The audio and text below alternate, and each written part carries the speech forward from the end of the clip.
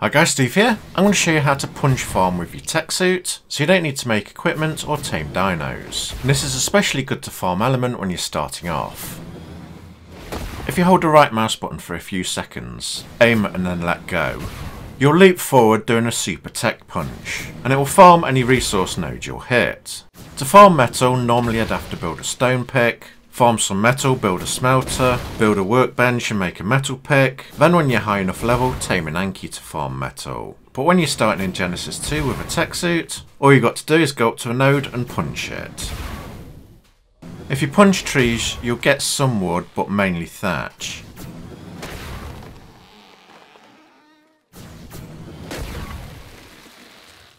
And this will work for other resources like obsidian and crystal.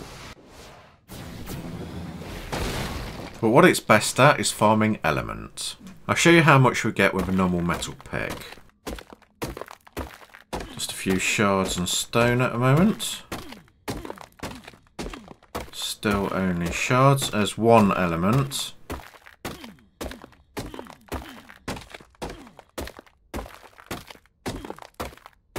Still loads of shards. Not that great, eh? That's what we got from farming one node. Right, now I'm going to show you what you get from punching it. Hold right mouse button, aim and let go. Two elements straight away. Element shards. About as much as I've formed entirely with a pick.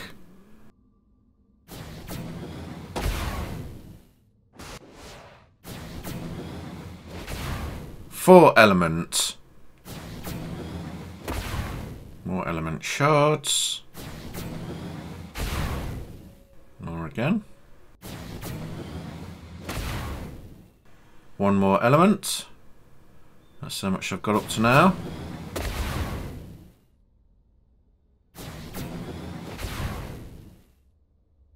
Four more, which is nice. Another three.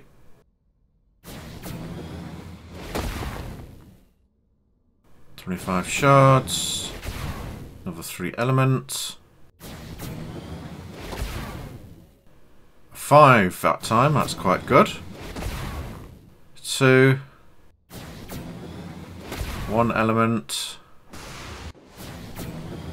As you can see, it's pretty good to farm solid, complete elements by bringing absolutely nothing apart from your Tek suit, what you get automatically. And that's how much element we farmed just by punching. Yes, you can get tens of thousands of element shards with a Stryder, then convert it into elements. But you'd have to tame one, probably a bit later in game. And you can get more full element from a Magmasaur, but you'd have to tame it on Genesis 1, then import it.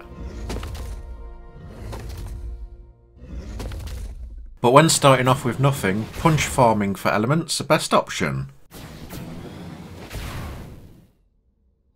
I also tried farming Mutagel this way, but as you can see the results aren't that great. Got three on that one which is okay. But one on there. Usually it's one to three. And you get overburdened with ambergris really quickly.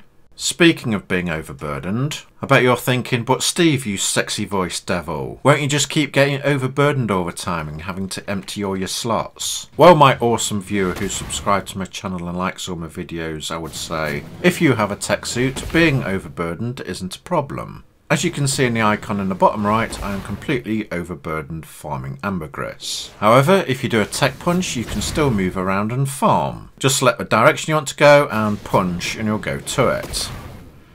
If you're stuck on the ground, you can punch up in the air.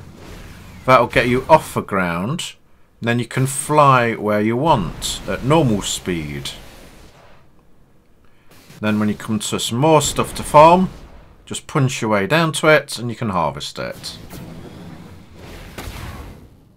It's easy to move around in a void of space in the centre of the map, but you can also move around on the normal maps with gravity. I'm still completely overburdened and shouldn't be able to move. However, if you press control while moving forward, that normally activates your super speed, you are still able to walk around. It's a bit slow, yes, but we can get around that as well. Normally if you double jump, you'll jump high in the air, but those don't work with gravity when you're overburdened. What you need to do instead is do a punch into the air, and you'll just fractionally leave the floor. It's a bit tricky to get used to, which will allow you then to press Control and Shift, and go into flight mode, letting you fly around the map as fast as you want, at super speed, even while overburdened.